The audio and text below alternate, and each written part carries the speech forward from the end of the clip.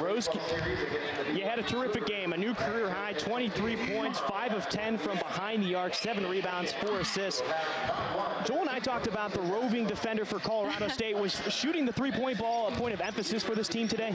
Yeah, I think so. I think uh, we knew that they were going to rover off of somebody. Um, didn't necessarily know who, so just kind of been everybody working on their shot, making sure we got our feet set, ready to shoot, and knock it down. So. Rose, I thought you did an amazing job to Thank start you. the game, being ready to shoot like you said, and not being surprised when you were open. And those three threes to start things out, I think, really put Colorado State on their heels. And that was the difference. If you look at the final score, was I think the great start you got off to. So I, I, I know that was a point of emphasis, but credit to you for being ready to shoot. Thank you. I appreciate that. Uh, Rose, what was the message from Coach Meek at halftime? You guys have had a lead before. You wanted to make sure you didn't surrender it, and you were up by 10 at that point. What was the message from Meek?